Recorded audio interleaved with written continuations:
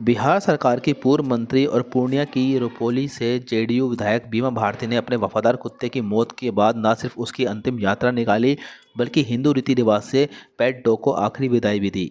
वहीं इससे जुड़ी कई तस्वीरें भी सामने आई। तस्वीर में पेट डॉग कृष्णा की अंतिम यात्रा को बीमा भारती के पति अवधेश मंडल और बेटे कंधा देते दिखाई भी दे रहे हैं। उनके साथ आसपास के लोग भी कृष्णा की आखिरी झलक देखने के लिए अंतिम यात्रा में शामिल हुए। गुरुवार को घर के चहेते पेट डॉग कृष्णा को आखिरी विदाई देते हुए पूर्व मंत्री बीमा भारती की आँखों से आँसू गिरते रहे, जबकि पति अवधेश मंडल भी पेट डॉग की अर्थी को कंधा देते हुए रोए। वहीं इसे लेकर पूर्व मंत्री बीमा भारती ने अपने फेसबुक अकाउंट से भावुक पोस्ट करते हुए पेट डॉग कृष्णा को श्रद्धांजलि भी दी। कृष्णा घर का चहेता था, घर के सभी सदस्य उसे परिवार का हिस्सा मानते थे। करीब 19 साल से पेट डॉग कृष्णा परिवार के दूसरे सदस्यों की तरह ही साथ रहता था। कृष्णा की मौत के बाद बीमा भारती और उनके पति अवधेश मंडल ने अपने चहेते कुत्ते का अंतिम संस्कार हिंदू रीति रिवाज से करने का फैसला लिया और उसकी अंतिम यात्रा निकाली। पूर्व मंत्री ने लिखा कि उनके कृष्णा की वफादारी ऐसी थी कि उनका परिवार जहाँ जाता कृष्णा भी उनके साथ ही रहता था।